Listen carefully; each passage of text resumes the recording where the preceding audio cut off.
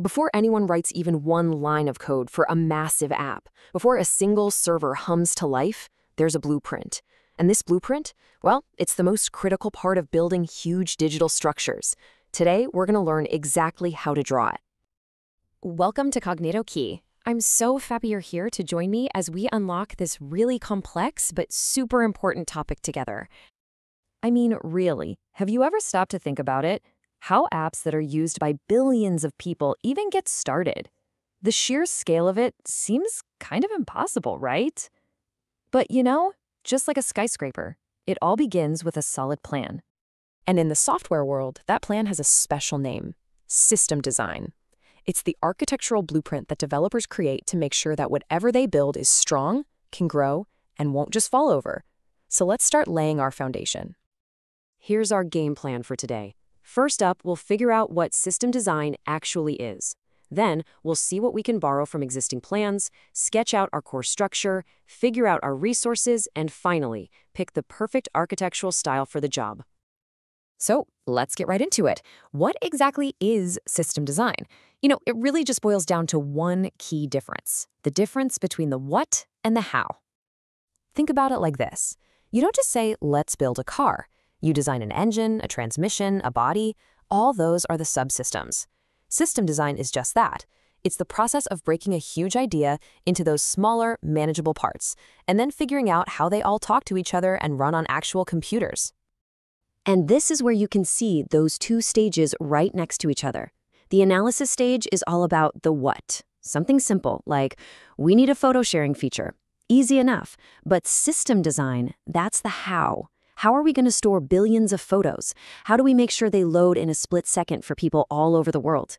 This is the crucial bridge that takes you from a cool idea to a real working plan. Okay, so you know what you want to do and how you want to do it. Where do you even begin? Well, a smart architect never ever starts with a completely blank page. The very first and smartest step is to see what you can reuse. This quote pretty much says it all, doesn't it? It's a core belief in modern engineering. I mean, why would you spend months building something from the ground up when brilliant tested solutions to common problems are already out there, just waiting for you? So, here's your reuse toolkit. Think of libraries as ready-made parts, like a pre-built engine you can just pop into your car. Frameworks are kind of like the car's whole chassis and body. The basic structure is all there, you just need to add your custom bits. And patterns? Well, they're like proven engineering tricks, you know, the best way to design a suspension, for example. Getting good with this toolkit is how you build things fast and build them right. With our toolkit ready, it's time to actually start drafting the core structure.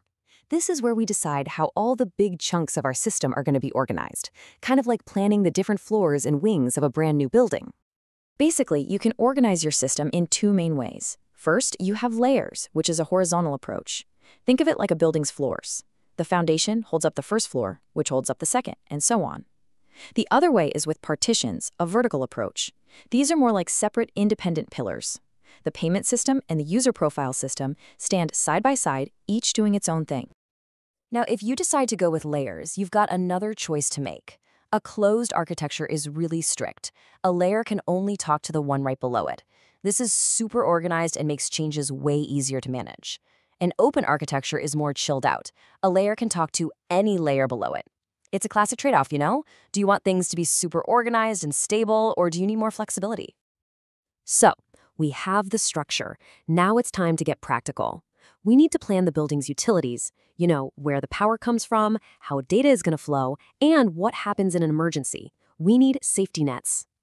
Making these resource decisions is absolutely crucial. You have to decide where your code is physically going to run. You have to pick the right way to store your data. Is a simple file okay, or do you need a massive, powerful database? And most importantly, you have to plan for what we call boundary conditions. What happens if the system fails? What happens when it first starts up? A truly great blueprint thinks about these stressful moments ahead of time.